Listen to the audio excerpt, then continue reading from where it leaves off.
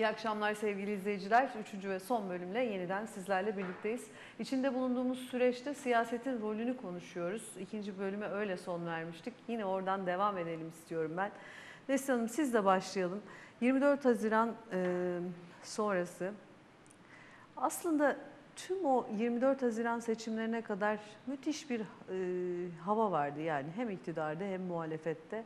Belki de insanların yani sokaktaki insanın da e, en çok istediği ve motivasyonunu yükselten bir hava vardı.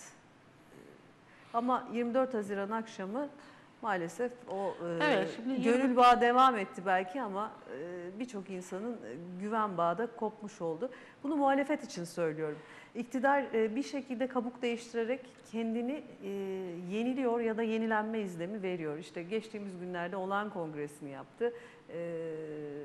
MYK'dan yaklaşık 50 kişiden 29'unu değiştirdi. Sürekli bir yenilenme içindeymiş gibi bir e, hava estiriyor. Ama son olan olan kongresi miydi Evet, AKP'nin? evet. Yani son olan kongresini ben e, öyle okumuyorum. Yani son olan kongresiyle artık e, Türk siyasi tarihinde AKP denen bir partinin artık kalmadığını düşünüyorum. Yani AKP yok, Cumhurbaşkanına bağlı e, bir örgüt, bir organizasyon var. Artık bir parti yok yani. Parti olarak kurumları yok, parti içi tartışma yok, parti politikalarını geliştirme yok. Varmış gibi Ee, gözüküyor. Mış gibi görünen. Aslında mecliste bir anlamda biraz öyle. Eğer 400 tane, e, 400'den fazla yazılı soru önergesi verilmişse ve anayasaya rağmen e, bunların hiçbirine e, cevap verilmemişse aslında meclis de mış gibi yapılan ve varmış gibi tutulan bir kurum halinde e, gidiyor. Şimdi bir e, toplumda e, siyasetsizleşmenin bedelleri çok ağır olur, yakıcı olur. Çünkü teminden beri konuştuğumuz bütün meseleler aslında siyasi meselelerdir. Ve siyasetin konusudurlar. Siyasi olarak tartışılması, konuşulması, karar alınması ve bu kararlara katılınması gereken, yani katılarak karar alınması gereken meselelerdir. Biz siyaset yoksa e, gerçek sorunlara muhtemel çözümler üretilemez, tartışılamaz bile yani tartışılmayan bir şey üretilemez. Ve daha çok biz şey tartışmaya başlarız, iyi ile kötüyü tartışmaya başlarız. Ne iyidir ne kötüdür. E, Bu, bu, bu siyaset değildir, iyi ile kötünün tartışılması. Ve bu da Böyle bir ortam sadece otoriter rejimlerin elini daha da güçlendirir. Çünkü artık itaatkarlık böyle bir noktadan sonra tartışmanın olmadığı bir ortamda itaatkarlık sıradan vatandaşları da aşar, bütün siyasi kurumlara egemen olmaya başlar. Mesela son işte ekonomik kriz örneğinde gördüğümüz gibi. Bu ekonomik krizde işte Amerika'nın saldırısı, dış güçlerin saldırısı bilmem nesi bir süre sonra bakıyorsunuz muhalefet de onun arkasına takılmış. Aynı dili kullanmaya başlamış. Yani o da iyi, kötü, düşman, dost eee, şeyini eee, benimsemiş tarifini benimsemiş ve e, biz sürekli olarak böyle bir e, düşman, dost, iyi, kötü tartışmasına dönmüşüz. Şimdi siyasetin varlığı şu demektir. Yani siyaset bizim ortak aklımızı, vicdanımızı e, harekete geçiren, onu açığa çıkaran, onun açığa çıkmasına yardımcı olan e, ortamdır siyaset ortamı.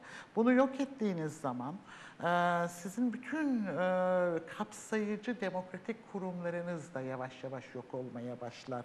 Bunlar yok olduğu zaman da siz artık işte sadece siyasi karar vericilerin sizi yönlendirdiği ve lütfettiği şeylere e, tabi olmak zorunda kalırsınız. Yani şimdi tarih, tarihe baktığınız zaman siyasetin e, yok edildiği, siyasetsizleşen toplumlarda e, bunun bedelini çok ağır ödediklerini görüyorsunuz. Yani 1930'lu yılların Almanya'sı, e, 1900'lü yılların e, Avusturya'sı ve 1900'lü yılların işte e, Sırbistan'ı e, o dönemdeki. Yani bir siyaset olmadığı zaman e, bedelleri çok ağır oluyor ve e, hakikaten e, Avrupa Komisyonu Başkanı Yardımcısının dediği gibi toplu intiharlara giden e, bir e, çatışma ortamına giriyorsunuz. Şimdi e, bugün bizim her zamankinden çok çoğulcu siyasete, sivil toplumun gücüne ve sorunları çözme e, kapasitesine sahip e, bir e, muhalefete ihtiyacımız var. Özgür ve bağımsız seçimler bunun için gerekli. Özgür bir ortam bunun için gerekli. Özgür bir ortam iyi eğitim için de gerekli. Yani ne kadar e, işte insanları eğitmek isterseniz isteyin, özgür bir ortamı sağlayamadığınız, tartışma ortamını sağlayamadığınız zaman onların yaratıcılıklarını e, harekete geçiremezsiniz. Yara- faydalanmanız gereken, e, almanız gereken maksimum faydayı alamazsınız maalesef. Onun için ortak aklı harekete geçirecek bir siyaset ortamına, o siyaset ortamını diri tutacak hukuk kurumlarına, hukuki kurumlara, demokratik kapsayıcı kurumlara ve onları koruyacak normlara ihtiyacımız var. Bunlar ortadan kalktığı zaman sonuç çok felaket oluyor. Büyük bir felaket oluyor. Türkiye ne yazık ki bütün bunları yavaş yavaş kaybetti. Hatta yavaş yavaş demeyeyim yani çoğu gözümüzün önünde kayboldu. Aslında 24 Haziran seçimlerine geldiğimizde biz önemli ölçüde bu kurumlarımızı kaybetmiştik, yitirmiştik. Bir kere bağımsız ve özgür tercih yapabileceğimiz bir seçim ortamı yoktu.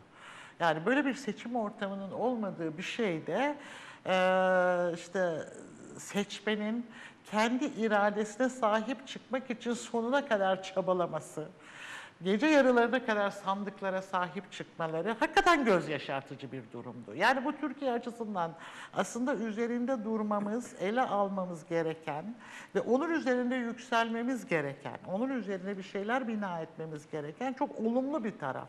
Çünkü seçmen kendisine böyle bir e, sistemi, rejimi değiştirebileceği ve kendi geleceğine sahip çıkabileceği bir ortam sunulduğunda sonuna kadar sahip çıkıyor. Ama onu yönetemediği zaman da affetmiyor ve affetmemekte de son derece haklı. Ee, siyaset bu nedenle önemli. Yani bizim siyasi kurumlara bu nedenle ihtiyacımız var. Ama onlardan çok daha önce tekrar altını çizeceğim. Bizim özgür bir ortama ihtiyacımız var bizim düşünen, düşüncesini rahatlıkla ifade eden, tartışan, ortak akla ulaşan, bunu sağlayan, insanların özgür iradelerini harekete geçiren bir ortama ihtiyacımız var. Bunu tek adam rejiminde, mevcut düzende yapabilmemiz artık giderek zorlaşıyor. Çünkü hep o, o laf çok hoşuma gitti Kemalcan'ın sözü. Eee, daha iyi ifade edemiyorum. Çünkü bu lütuf düzeninde eee, ancak kim eee, egemen, sizin ne kadar düşünmenizi, neyi düşünmenizi isterse o kadar düşünebilirsiniz. Ne kadar kazanmanızı isterse o kadar kazanabilirsiniz. Ne kadar yaşamanızı isterse o kadar yaşayabilirsiniz. Böyle bir düzende yaratıcılık olmaz. Böyle bir düzenin üzerine eğitimi koyamazsınız. Böyle bir düzenle gençleri, böyle bir düzende geleceğe odaklı hazırlayamazsınız. Sadece can ve mal güvenliğini tartışabilirsiniz. Sadece can güvenliği, mal güvenliğinden de vazgeçersiniz. Sadece can güvenliğinin peşine düşersiniz. Şimdi bu, bu, bu bir toplumun siyasetsizleşmesi ve anayasasızlaşması ki şu anda anayasasızlaştık da, siyasetsizleştik de bir toplumun gerçekten intiharı demektir. Yani bir an önce hakikaten ne yapılması gerekiyorsa el birliğiyle bunu yapmamız gerekiyor. Onun için tekrar başa döneceğim. O toplumsal hafızalara o nedenle çok ihtiyacımız var. Evet. Geçmişi hatırlayarak ama e, bunun üzerinden Ders alarak, Ders geçmişten alarak. ders alarak. Yani tarih tekerrür etmek zorunda değil. Akli melekelerimizi eğer kullanabilirsek geçmişin tarihini aynen yaşamak zorunda değiliz. Toplu intihar etmek zorunda değiliz.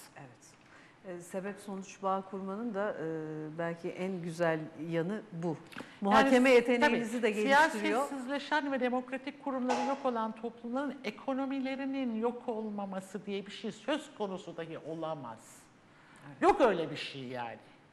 Yok. Yok öyle bir şey. Şimdi bakın e, Almanya Amerika'ya e, Türkiye e, tepkisi gösteriyor. ABD'ye Türkiye üzerinden e, tepki duyduğunu Alman Dışişleri Bakanı Heiko Maas şöyle anlatıyor. Diyor ki Amerika'nın Rusya, Çin ve Türkiye'ye dönük yaptırımları Almanya'yı ve Avrupa'yı da vuracak. Ama Almanya'ya dönük yaptırımları da var. E, Tabii elbette. ki vuracak. Şimdi Elbette. Ama toplu olduğu zaman etki alanı daha da E genişlemiş bu, oluyor. şimdi bu krizin üçüncü dalgası 2019'da başlayacak ticaret savaşlarının aa, yol açtığı Aslında dalga. o da ayrı bir program evet, o da ayrı bir, konusu. Ayrı bir program konusu. Ayrı bir program Ee, konusu. Sayın o. Bakan yine e, konuyu dağıtmadan bu söylediğim üzerinden size de aynı soruyu yöneltmek istiyorum. Ee, hani hep son köprüden önceki son çıkış denildi, son çeyrek denildi, son evre denildi.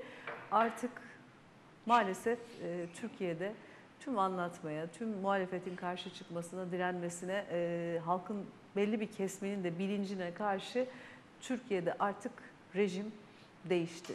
Artık her şeye tek bir adamın karar verdiği, ekonomiden siyasete, özel yaşantıdan e, çeşitleyebileceğimiz her şeye kadar. Mahkemelerin kararlarına kadar. Evet, Bu değişmiş gibi gözüken bu rejim aslında halk e, bunu istemiyor. Hiçbirimiz istemiyoruz. Bu bir anda değişebilir. Ya bu millet kendisine ait bir rejimi koyabilir. Şimdi modern devletlerin temel altyapılarında üç ayak vardır. Özgürlük, adalet ve güvenlik. Bu üç ayağın olmadığı artık gündemde gözüken bu. Peki Adalet ve Kalkınma Partisi zihniyeti iktidara gelirken üç ile geldi. Yasaklar, yolsuzluk ve yoksulluk. Bu üçünde muvaffak oldu. Yoksulluğu hakim kıldı. Yolsuzluk yapmayanı sokakta dövüyorlar. Yasaklarda zaten de Silman anlatıyor işte özgürlüğümüz yok diyor. Peki 3Y'ye de ele geçirdiler. 3Y neydi? Yasama, yargı, yürütme. Öyle değil mi? Şimdi buradan e, hareketle artık bu iktidarla ilgili hiçbir şey konuşmamıza gerek yok. Türkiye'de bütün sistemin çöktüğü ve insanların boğulmakta olduğu, köleleşmeye mahkum edildiği, Türkiye'nin imkan ve kabiliyeti ve kapasitesinin çıkarlar uğruna Türk halkına değil, Türkiye'yi kullanmak isteyen güçlere peşkeş çekilmeye, taviz verilmeye zorlandığı bir dönemden geçiyoruz. Çünkü Osmanlı döneminde baktığımız zaman, Abdülhamit döneminde hiç silah atmadan kaybettiğimiz, tehdit altında kaybettiğimiz bir sürü topraklar var. Taviz vere vere bir yere gidemiyorsunuz. İşte bizde Doğu Akdeniz Havzası'ndan taviz istiyorlar. Ee, Kafkasya'da her yerden taviz istiyorlar, taviz istiyorlar. En büyük istenen tavizin halkta paylaşılmadığı ve e, iktidar sahipleri de bunu paylaşamıyorlar. Ama diyorlar ki bu tehdit bize karşı Recep Tayyip Erdoğan'a değil ülkeye karşı diyorlar. O zaman büyük taviz isteniyor buradan. 18 adadan Ege'deki adadan bir şey diyemiyorsun. Geçmişte bakanlık yapmış bir siyasetçi kayalık diyor utanmadan, hiç sı- sıkılmadan. Ee, kayalık diyor. Ya kayalık da olsa sana ait adaya eğer bir başka ülke bayrak çıkmışsa utanması lazım. Milletin arasında gezememesi lazım. Ama böyle bir dönemi yaşıyoruz. Ben de diyorum ki bu e, bizim şükretmemiz gerekiyor ki özellikle Cumhuriyet'in kuruluşundan bugüne kadar ki gelen eğitim sisteminde Türkiye, Türkiye'nin geçmişine, Türkiye'nin atalarına, e, Türk devletine düşman bir nesil de yetiştirmişiz. Onu farklı algılayan, farklı yorumlayan bir nesil de yetiştirmişiz. Dini farklı algılayan bir nesil yetiştirmişiz. Bu iktidar döneminde dine karşı yapılan tahribat hiçbir dönemde yapılmış değil. Yani İslam dininin uygulama, rit- ritüel ve onun ahlaki ve inanç değerleri bakımından bir çöküş yaşandığı bir gerçekle karşı karşıya. Herkes aynı şikayet içerisinde. Özellikle e, inancın en ufak e, hangi dinden olursa olsun onlara hizmeti devletin sunması lazım. İster Musevi olabilir, ister e, Gregorian olabilir, ister Protestan, ister Katolik, şu bu olabilir. Ama devletin asli görevi bunu o vatandaşına en iyi şekilde sunması gerekiyor. Bunu yapması gerekiyor. Müslümanlara da. Sen köşe başında bir sürü sahtekar. Kimliklere de öyle değil mi? Kimliklere de öyle. Yani Evet. kendi vatandaşı, Elbette. Kürt, Türk bilmem ne diye Bütün efendim artık biz gerekiyor. onları ayırmıyoruz. Eşit vatandaş olması Efendim gerekiyor. biz ayırmıyoruz. İşte bu ülkede yaşayan herkes Türktür diye kabul ediyoruz. Hiç kimlik ayrımı yok. Bu kimlik ayrımı Adalet ve Kalkınma Partisi iktidara geldiği zaman bunu planlı yaptırdılar ki herkes birbirine şüphe etmeye başladı. Sen kimsin, sen kimsin diye. Savaşa giderken kimse kimseye sormuyor ki. Yani ş- şehit olan evlatlarımız hiçbirisi sen kimsin diye sormuyor. Herkes birbirine sarılarak şehit oluyor. Bu planlı milletin kafasına, bu Orta Doğu coğrafyasında yaşayan insanların kafasına planlı bir şekilde şey yaptılar. Özellikle Irak laboratuvarında İngilizler ve Amerikalılar bunu başardılar ve orada büyük başarı elde ettiler. Toplumları 5000 yıllık o asırlardan beri gelen o medeniyetin müzelerini soyarak kimliksizleştirdiler. Millet olma vasfını elden aldılar. Şimdi ben diyorum ki bu iktidarın durumu belli. Millet olma vasfımızı elimizden alıyor.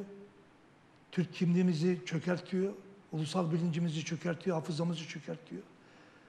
Ve Metehan'dan bu yana gelen, Selçuklu'dan bu yana gelen, Osmanlı Devleti'nden bu yana gelen ve Cumhuriyet'in de devam ettirdiği gerek okulları, gerekse kurumların içini boşaltarak, çökerterek devam ediyor.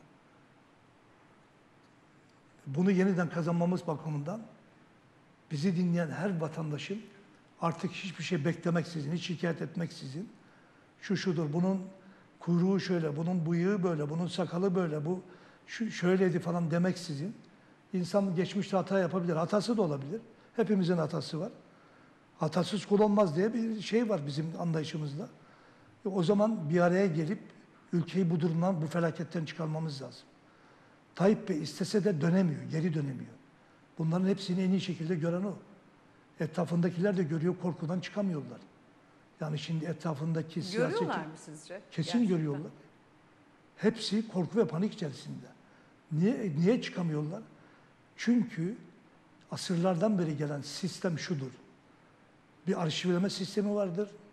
Bu arşivleme herkes birbirini arşivleyerek onun üstündeki en büyük güç de onu arşivleyerek devam eder ve kullanır. İşte son zamanda Fethullah Gülen, İstihbarat devleti yani.